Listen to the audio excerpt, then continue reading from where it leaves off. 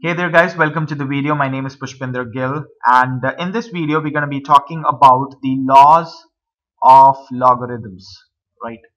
So in the previous video you understood about the basics of logarithms. In this we're going to be talking about the laws of logarithms.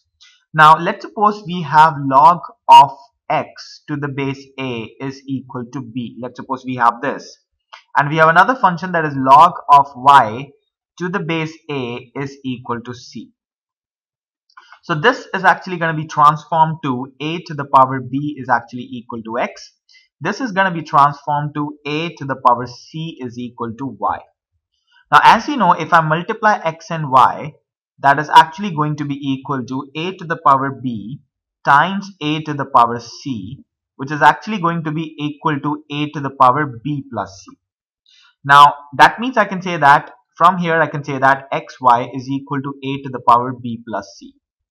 If I take the logarithms uh, for this now, so the logarithm for this is actually going to be equal to log of base a which is this of xy is actually equal to b plus c. Fine. So that means if and you know that b is equal to this that is log of a to the base x and c is equal to this that means log of a to the base y which means I can say that log of a of xy is actually equal to log of a to the base a x to the base a plus log of y to the base a. So that is the first property of logarithms, the first law of logarithms that log of xy to the base a is equal to log of x to the base a plus log of y to the base a. Now let's go ahead and use the same property for a different set of logarithms. So I can say that similar stuff, the both same stuff I'm taking, but if I want to do x over y, I will actually get to be equal to a over b over a over c, which is equal to a over b minus c, right? So that means I can say that if I that is equal to x over y, which means if I take logarithm here, I'll have log of x over y to the base a is equal to b minus c, right? So rewriting this equation again, I will have the second law of logarithms that is log of a of x over y is actually equal to log of a log of x to the base a plus log sorry minus log of y to the base a. So that is the second law of logarithms which state that which states that log of x over y to the base a is equal to log of x to the base a minus log of y to the base a. Now let's go ahead and talk about the third law of logarithms. So again I'm going to define a log of x to the base a is equal to b and log of x log of y to the base a is equal to c. Now let's say we want to talk about uh, a to the power b to the power k, right? Which is actually going to be equal to a to the power bk. So if I use the logarithm here, I would actually be saying that uh, log of, so when you do the log, you actually do the log of this, uh, sorry. So, okay, let's make it much more simpler. Let, let's say that we have Uh, b times b is actually equal to b square. So b times b is actually equal to b square. Now if I take logarithms on both sides, which I can do that, so this is going to be equal to log of b times b, which can actually be written as log of b plus log of b because that's the multiplication rule that we've just learned that is log of xy is log of x plus log of y. That is equal to log of b square. I'm assuming that the base is same. So log of b plus log of b can also be written as 2 times log of b which is equal to log of b square right? So similarly similarly if I have let's suppose log uh, I have b times b times b times b that is let's say k times that is actually equal to b to the power k. If I take logarithms on both sides right? So I will have uh, again the same stuff I'll have log of b plus log of b that will actually run k times that will actually be equal to log of b to the power k.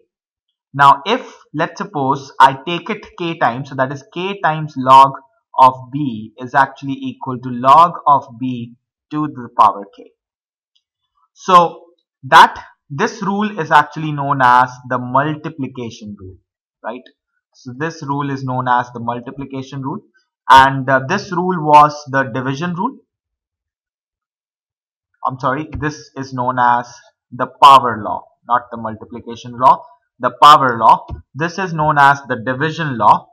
And the first one is known as the multiplication law. We're going to be summarizing that don't worry right? But so I hope this whole thing is clear now another thing is uh, let's suppose if I want to define the log of 1 over x right? So that will be equal to the log of x to the power minus 1 using the power law this minus 1 can actually go here which will be equal to minus log of x. So that means I can say that log of 1 over x is equal to minus log x something that will actually be very very useful for you. And understand the base is same in both the cases. Fine? So I suppose you're understanding this. So what I'm going to do is I'm going to summarize all the laws. So the first law is the multiplication law. So what does the multiplication law state? So the multiplication law states that a logarithm of x times y to the same base is equal to logarithm of x to the same base plus logarithm of y to the same base Second is known as the division law. So what is division law? That is actually equal to log of x over y to the base a is equal to log of x to the base a minus log of y to the base a. The third is known as the power law in which log of a to the power k is equal to k times log a. So this actually comes here. And the fourth one is actually going to be uh, a simple law that is log of 1 over x is equal to negative log of x. Fine. So suppose you're understanding this point over here guys. Now uh, let's actually pick up a question. Okay, let's pick up a question and see if we're able to solve that. Uh, let's suppose if we want to talk about the value of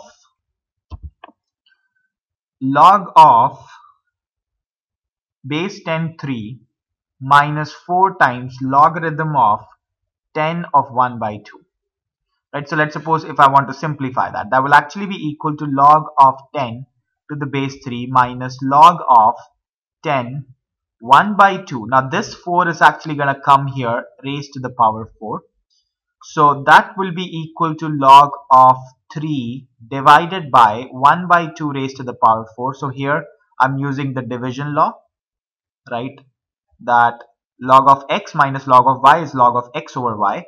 And here I've actually used the power law right? That uh, this 4 actually comes here. So this is going to be equal to log of 3 uh, times 2 to the power 4 which is going to be log of 10 of 48 so that is how I have simplified it. Fine.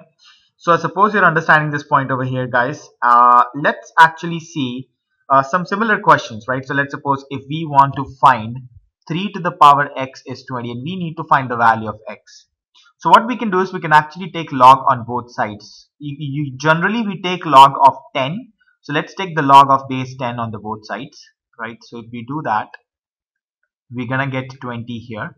Now, uh, if we want to solve it further, right, what we can do is we can actually take the x outside, use the power law. So x log of 10 to the base 3 is actually equal to log of 10 to the base 20.